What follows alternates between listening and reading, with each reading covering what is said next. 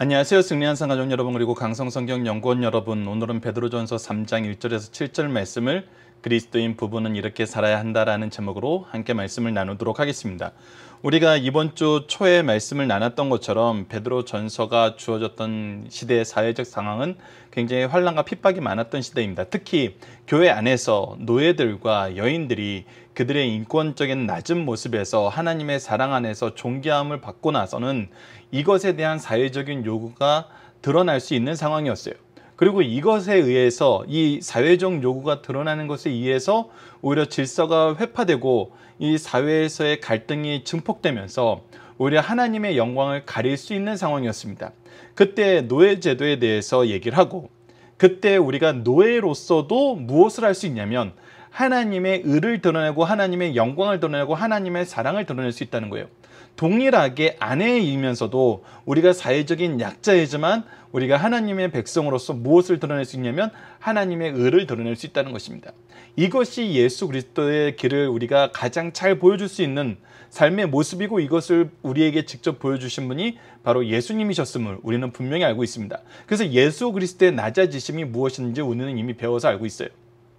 이 부분에 대해서는 여러분들이 소율이 강의 강좌를 다시 한번 참조해 주시길 부탁드리겠습니다. 자, 3장 1절 말씀을 봅시다. 이제 아내들에 대한 부분입니다. 아내들아, 이와 같이 자기 남편에게 순종하라. 이와 같이 자기 남편에게 순종하라는 것은 무엇 무엇같이입니까? 이것은 바로 예수님께 순종하듯이 예수님께 하듯이 예수님의 뜻 안에서 하나님의 뜻 안에서입니다. 즉 우리가 모든 관계의 기초는 우리가 예배소서나 고린도전서 말씀이나 오늘 베드로전서 말씀을 통해서 볼 수 있는 것은 뭐냐면 주 안에서 죽게 하듯 이 두 가지를 항상 봐야 된다는 것입니다. 우리가 주 안에서 죽게 하듯 하는지를 보는 것이 바로 예수님처럼 행동하는 것이고 하나님의 뜻 안에서 이루어지는 것입니다. 그래서 아내들아 이와 같이 자기 남편에게 순종하라는 것은 주 안에서 죽게 하듯이 순종하라는 것입니다. 이는 혹 말씀에 순종하지 않는 자라도 즉 이 남편이 무엇을 하지 않는 자라면 말씀에 순종하지 않는 자예요. 말씀에 순종하지 않는 자는 두 가지로 볼 수 있죠. 말씀 몰라서 순종하는 것 순종하지 않는 경우가 있고 말씀을 알면서도 순종하지 않는 경우가 있어요. 그런데 이러한 자들도 어떻게 우리들의 순종을 통해서 말로 말미암지 않고 그 안에 행실로 말미암아 분명히 얘기합니다. 우리가 하나님을 가르쳐 줄 수 있는 것은 말씀을 통해서도 가르쳐 줄 수 있지만 우리가 하나님의 뜻을 순종함으로써 우리가 남편에게 순종하는 것이 남편에게 어떻게 해야 된다는 하나님의 말씀에 대한 순종이었어요. 그래서 우리의 삶이 무엇을 드러내냐면 하나님의 뜻을 나타내는 게시판이 돼요. 하나님의 영광을 나타내는 게시판이 돼요. 하나님의 통치를 나타내는 게시판이 돼요. 하나님의 승리를 나타내는 게시판이 돼요. 그래서 우리가 하나님의 역사의 게시판이 되어서 그것이 그 안에 행실로 말미암아 구원받게 하려 함이니라. 즉 우리를 통해서 우리의 행실을 통해서 우리가 나타내는 하나님의 뜻을 통해서 그들이 무엇을 하는 거예요? 하나님의 뜻을 알고 예수 그리스도의 사랑을 아는 거예요. 여러분들 언어가 정착하기 전에 언어가 지금 현대 사회처럼 풍성해지기 전에 우리가 나눌 수 있는 방식이 지금처럼 풍성해지기 전에 어떻게 말씀이 전파되었는지를 다시 한번 봅시다. 바로 이 방법이거든요. 우리가 무엇이 되는 거예요? 하나님의 역사의 게시판이 되는 거예요. 그것이 우리의 행실을 통해서 나타내는 하나님의 뜻이라는 것입니다. 자, 그래서 우리가 무엇을 보게 되냐면 너희의 두려워하며 정결한 행실을 봅니다. 자, 분명합니다. 우리가 무엇을 두려워해요? 하나님의 뜻을 두려워해요. 내가 지금 이 상황 같았으면 당장 이혼을 해야 돼요. 저 인간하고는 이제 단절을 해야 돼요.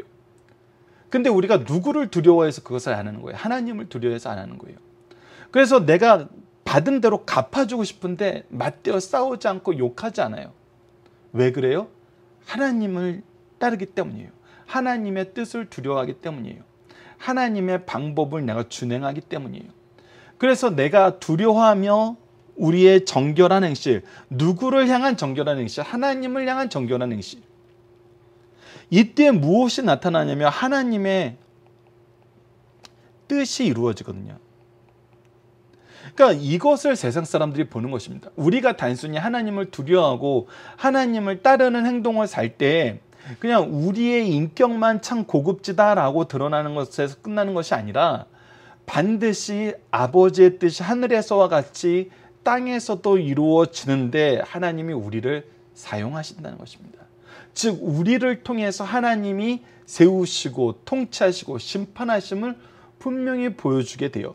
그래서 우리의 입술의 말을 통해서 나타나는 예수 그리스도의 복음, 우리의 행실을 통해서 나타나는 예수 그리스도의 사랑을 통해서 그들이 그리스도를 인정하고 그리스도를 믿게 된다는 것입니다. 그래서 우리에게 중요하다고 얘기하는 것이 무엇이냐면 아내들에게 중요하다고 얘기하는 것이 무엇이냐면 3절에서부터 5절까지입니다.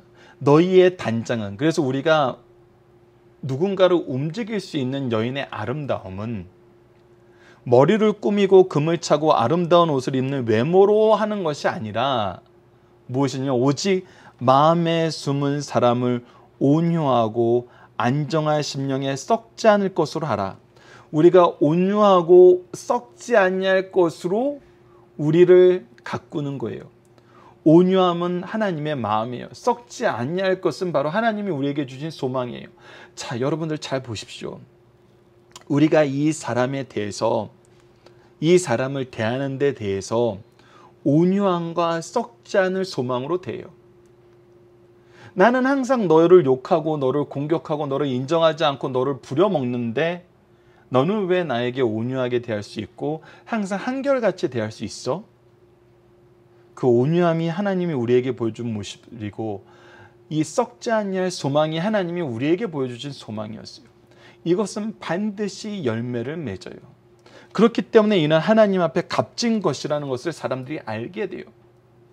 우리의 온유함과 우리의 소망에 썩지 않냐 그 소망의 대상이 바로 당신이라는 거예요. 남편이라는 거예요. 무도한 주인이라는 거예요. 우리를 공격하는 자들이라는 거예요. 전에 하나님께 소망을 두었던 거룩한 부녀들도 이와 같이 자기 남편에게 순종함으로 자기를 단장하였느니라. 즉 우리가 단장해야 되는 것은 바로 순종함의 단장이에요. 이 순종함에 대한 단장은 하나님께 순종하듯이 내 남편에게 순종하는 거예요. 하나님을 섬기듯이 내 남편을 섬기는 거예요. 왜? 우리가 주권자를 섬기는 것과 동일해요. 모든 질서의 주권자는 하나님이시고 심판주도 하나님이시라는 거예요. 그래서 6절 보면 사라가 아브라함을 주라 칭하여 순종한 것 같이 선을 행하고 아무 두려운 일에 놀라지 아니하며 그의 딸이 된 것이니라라고 얘기하고 있어요. 우리가 선을 행하고 이 세상을 두려워하지 않는 이유는 하나님의 역사심이 있기 때문이고 우리가 그의 딸로서 살기 때문이에요. 그의 일꾼으로서의 살기 때문이에요. 우리는 그의 영광의 능력의 역사의 구원의 사랑의 게시판인 것입니다. 우리는 그것을 드러내는 삶을 살아요. 우리를 통해서 하나님은 이 일을 드러내시길 기뻐하세요. 동시에 남편들에게도 분명히 얘기합니다. 남편들아 이와 같이 지식을 따라 누구의 지식입니까? 하나님을 아는 지식이에요. 하나님의 뜻을 따르는 지식이에요. 이것을 따라 너희 아내와 동거하고 우리가 하나 되게 한 것은 하나님의 뜻이라는 거예요. 우리의 동거에 따른 이유가 있잖아요. 하나님의 지식에 있어요. 하나님의 뜻에 있어요. 이것을 우리가 인정하지 못하면 남자들이 다른 것을 요구하게 돼요. 하나님의 뜻 안에서 이루어졌다고 생각하지 않고 다른 것을 요구하니까 이 가정이 회파가 되는 거예요. 우리가 하나님의 뜻이 있다 그러면 그 안에서 무엇을 소망하냐면 하나님이 주신 산 소망을 가지고 이 안에서 살아요. 우리에게 주신 하나님의 계획이 하나님이 풍성하심에 의해서 이루어진 것을 알아요. 그래서 이 여인을 나에게 주신 의미가 처음에 좋고 갈수록 사그라드는 사랑으로 살다가 우정과 전우애로 산다는 인간적인 방식이 아니라 하나님의 역사하심에서 하나님의 뜻이 날마다 풍성하게 드러나는 것을 경험하는 것으로 우리의 동거가 경험된다는 거예요.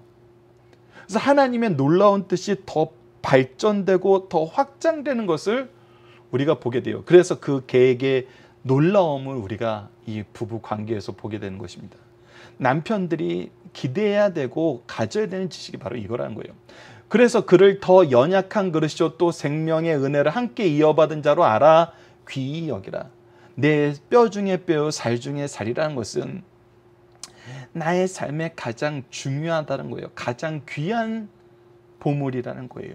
하나님이 나에게 주신 가장 값진 것이라는 거예요. 그래서 우리가 협력하여 하나님의 일을 이루는 것을 하나님은 이미 계획해 놓으셨고 이것을 이룰 가장 좋은 짝을 우리에게 주셨다는 거예요.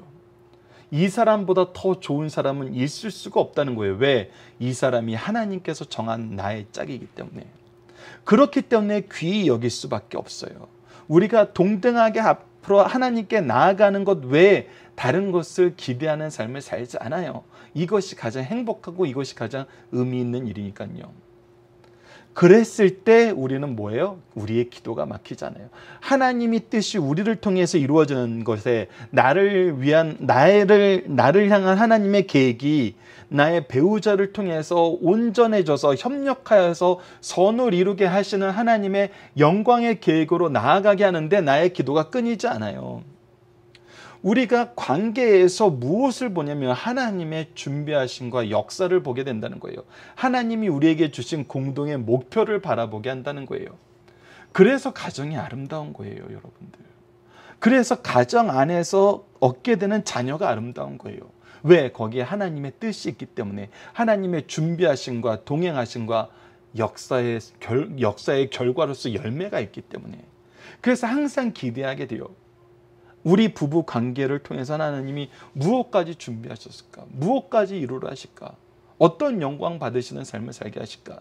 우리를 통해 주신 자녀를 통해서 우리에게 보여주시고자 하신 하나님의 준비하신가 계획하심의 역사는 무엇인가? 날로 날로 새로워요. 이것이 가정의 본질이라는 것입니다. 그래서 가정은 익숙함이 아니라 정말 소망의 새로움이 넘치는 곳이에요. 하나님의 일을 하면서 함께 나아갈 때는 그것이 더욱 커집니다. 그러니까 온 가족이 하나님을 같이 볼 때는 그의 역사의 놀라움이 끊이지 않냐면 보게 됩니다. 자, 본문 묵상을 봅시다. 첫 번째, 말씀에 순종하지 않는 자, 믿지 않는 남편은 어떻게 구원으로 인도할 수 있습니까? 바로 우리를 통해서 하나님의 복음의 역사가 나타나게 한다는 거예요. 그래서 우리의 행실로 그들이 하나님을 인정하게 만들어요. 우리가 하나님을 두려워하는 것을 통해서 하나님이 살아계심을 인정하게 만들어요. 우리가 하나님의 뜻을 따르는 것으로 하나님의 통치를 인정하게 만들어요. 그렇기 때문에 하나님의 심판까지도 자연스럽게 인정하게 된다는 것입니다. 두 번째, 여인의 단장 아름다움은 어디에 있습니까? 겉에 있는 것이 아니라 하나님의 뜻을 지키는 것에 있다는 거예요. 하나님이 우리에게 주신 소망을 의지하는 것에 있다는 거예요. 그래서 내가 왜 이는 사람의 부인이 되었을까? 나를 통해서 하나님이 이루고자 하시는 뜻은 무엇일까? 그것이 분명히 있다는 거예요. 그래서 그것을 소망하는 삶을 살면서 우리가 항상 사랑할 수 있게 한다는 거예요. 그래서 그것을 보는 그때를 기다린다는 거예요. 그래서 우리 부모님 세대만 해도 믿지 않는 남편이 하나님 앞에 나와서 이 믿음의 가문 안에서 남편을 통한 축복의 역사에 이, 이 가정의 질서가 회복되는 걸 꿈꾸는 많은 어머니들이 계셨고 그 기도의 응답이 정말 교회의 역사가 될 만큼 놀랍게 응답을 받았던 거 우리는 이미 알고 있습니다.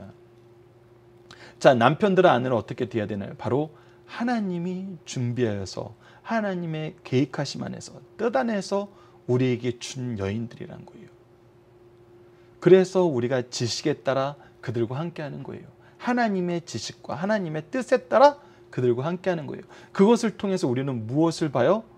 우리를 이 우리의 연합을 통해서 이루어지는 하나님의 생명의 역사를 보게 돼요. 그래서 그 안에 자녀가 있는 것이고 그 안에 영적인 열매들이 있는 것입니다. 그랬을 때 우리의 기도는 막히지 않고 더 놀라운 하나님의 역사를 소망하는 기도로 계속 계속 확장되어 나가는 것이고 열매를 맺어 나가는 것입니다. 자, 본문의 중심 사상입니다. 성경적 부부란 본래 한 몸이 둘로 나누어졌고 다시 둘이 한 몸을 이룬 것입니다. 그래서 이 세상의 어떤 관계보다 가장 굳건한 관계가 부부 관계예요. 부모와 자식 관계보다 더 굳건한 관계예요. 그래서 창세기 2장 22절에 24절에 이렇게 기록되어 있죠. 여호와 하나님이 아담에게서 취하신 그 갈빗대로 여자를 만드시고 그를 아담에게 이끌어 오시니라 아담이 이르되 이는 내 뼈 중에 뼈요 살 중에 살이라 이것을 남자에게서 취하셨은즉 여자라 불리라 하니 이러므로 남자가 부모를 떠나 그의 아내와 합하여 둘이 한 몸을 이룰지니라. 하나님이 하나 되게 하신 거예요. 그래서 예수님께서는 하나님이 하나 되게 하신 것을 사람이 나눌 수 없다고 얘기하셨어요. 그래서 이것은 분명합니다. 우리가 둘이었던 것이 어찌 어찌 어찌 해서 서로 서로 뭐 맞추다 보니까 하나 된 것이 아니라 본래 하나였던 거를 하나님이 둘로 나누어서 다시 하나 되게 하셨다는 거예요. 즉 하나님의 계획 안에서 하나님의 뜻 안에서 우리 부부 관계는 이루어졌다는 것입니다. 그래서 무엇을 볼 때 이것을 완벽하게 볼 수 있냐면 하나님의 뜻 안에서 서로를 볼 때 이것을 우리가 풍성하게 볼 수 있어요. 두 번째 하나님의 뜻에 합당한 아내의 자세를 제시하고 있습니다. 고린도전서 11장 3절을 보시다. 그러나 나는 너희가 알기를 원하노니 각 남자의 머리는 그리스도의 여자의 머리는 남자요 그리스도의 머리는 하나님이시라.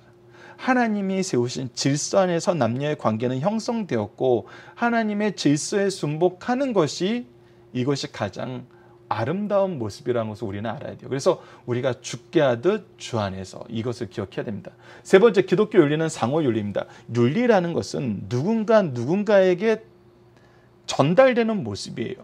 서로 상호적인 모습이에요. 그래서 기독교의 윤리라는 것은 인격적이고 신앙적이에요. 왜 인격적이라는 거냐면 내 모습이 그에게 나타난 데서 인격적이라는 거예요.